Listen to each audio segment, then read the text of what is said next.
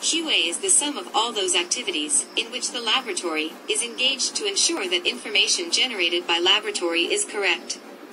QA includes all aspects of laboratory activities that affects the results produced, from the choice of methods, to the education of personnel, to the handling of specimens and reporting results. The real purpose of QA activities is to determine how correct or incorrect the results emanating from the lab are, and to allow those managing the lab to determine whether or not the lab is fulfilling its functions satisfactorily. Three major activities of QA. 1. Preventive. Those activities that are done prior to the examination of the specimen or sample, and that are intended to establish systems conducive to accuracy testing, e.g., preventive maintenance and calibration of instruments, testing of media, orientation and training of personnel. 2. Assessment. Those activities that are done during testing to determine whether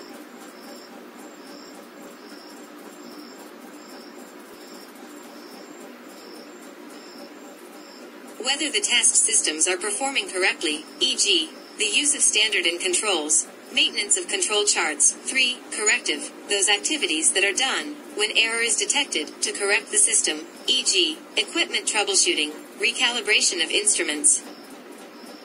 QA in Hematology Laboratory.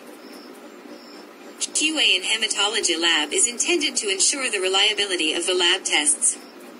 The objective is to achieve precision and accuracy for components of QA program.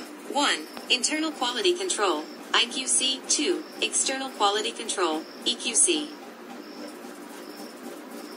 Accuracy The closeness of the estimated value to the true mean can be checked by the use of reference materials, which have been assayed by independent methods of known precision precision reproducibility of a results, whether accurate or inaccurate within a defined frame time, e.g., within the same day, from week to week, etc., can be controlled by replicate tests, check tests on previously measured specimens, and statistical evaluation of results. Internal Quality Control, IQC. Based on monitoring the hematology tests procedures that are performed in the lab includes measurements on controls and is intended to ensure that there is continual evaluation of the reliability of the work of the lab and that control is exercised over the release of the results. External Quality Control, EQC, is the objective evaluation by an outside agency of the performance by a number of laboratories on material, which is supplied specially for the purpose is usually organized on a national or regional basis. Analysis of performance is retrospective. The objective is to achieve comparability with results of other labs. Quality assurance in hematology. Statistics of QC mean X, the total score of all the measurements divided by the number of measurements. Standard deviation, SD, variation in measurement obtained in lab tests formula, SD equals sigma, X, X, 2N, 1N, number of measurement. Coefficient of variation, CV, relation of SD to the actual measurement formula, CV equals SDX 100% X analysis of data standard deviation of control specimens. If value assigned to a specimen a number of times, dispersion of results around the mean will indicate the error of reproducibility. 95% of results on the same specimen should be within plus or minus 2 SD, and 99.7% within plus or minus 3 SD. By chance, 1 in 20 of measurement might expected to fall outside 2 SD, and only 1 in 333 outside 3 SD.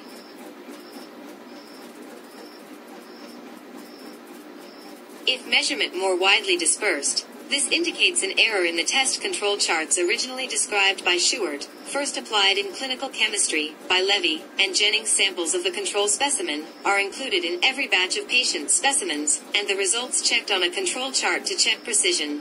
It is not necessary to know the exact value of the control specimen value has been determined reliably by a reference method. The same material can be used to check accuracy or to calibrate an instrument if possible. Controls with high, low, and normal values should be used advisable to use at least one control sample per batch. Even if the batch is very small, the results obtained with the control samples can be plotted on a chart. Control materials specially prepared it may be anticoagulated WB, preserved pooled red cells, plasma, or serum it can be used to check for accuracy if the value has been reliably determined, e.g., reference center, should have controls of high, normal, and low values at least one control specimen should be used for every batch if large specimens. Use one control for every 20 specimens the same material is used for EQC, or also as calibrator.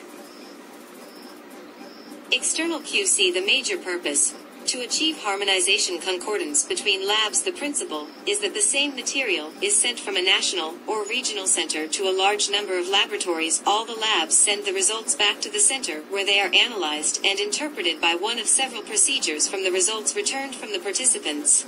The median or mean and SD are calculated in individual lab, can then compare its performance in the survey with that of other labs and with its own previous performance using deviation index. A deviation index score equals actual results weighted median slash mean for test weighted SD interpretation. 0.5 excellent.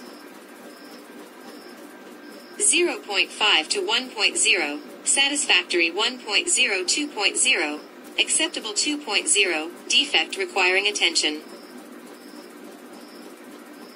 Organizations A. National External Quality Assurance Program. NICAP, Pusat Darah Negara B. Royal College of Pathologists of Australia, RCPA, C. International EQA Scheme.